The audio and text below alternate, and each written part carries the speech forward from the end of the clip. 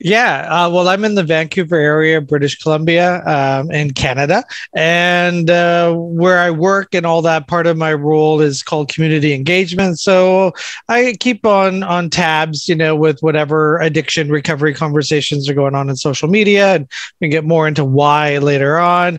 But I, you know, today's been a fiery day. We have here in BC a top medical doctor, so she was, you know, the person that kind of did all the COVID stuff and you know did the press releases every day for covid and she, she carries a lot of weight especially in the province of bc she actually has authority here. Some provinces they're just a figurehead but she actually has authority over the government when there's a health crisis.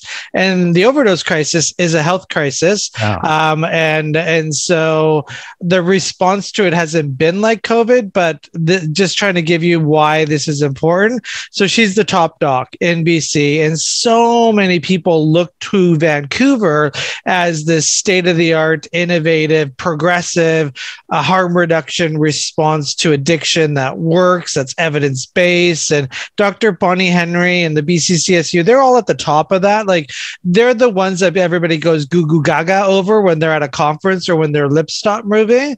Anyway, today a news clipping came out, and I don't know if it's a slip. I don't know if it's a misquote, but it's like a big news company. It's not just a rag bag. And uh, and she goes on by saying uh, abstinence is an important treatment modality for people who have addictions, but not for opiate addiction. Uh, opiate addiction is chronic relapsing. So she goes on to say that um, some doctors are encouraging patients to quit doing drugs. This shows a lack of understanding of the complex issues at work. So basically, she's saying don't tell opiate addicts to stop using. They'll have to use for the rest of their life or be a patient of some form, safe supply for the rest of their lives.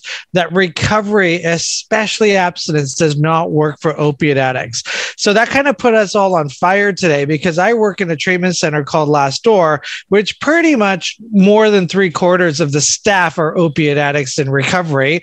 We have tons of friends that are in recovery from opiate addicts, and we've been around for 40 years. We have thousands of opiate addicts that are in recovery, abstinence recovery. So, number one, how disrespectful to their journeys. Yeah. Like you owe them an apology. Like, how dare you just take them out of the narrative of your public policy to push your safe supply agenda? Whether or not you agree with safe supply or not, I, I'm I like Switzerland's model of safe supply. I don't like Canada's model of safe supply. Switzerland has what they call high threshold safe supply. Here mm-hmm. they're just giving it out like tic tacs. But to go on carte blanche and just say, hey, you're an opiate addict, you're never going to stop using. So you know what? You're just just don't stop.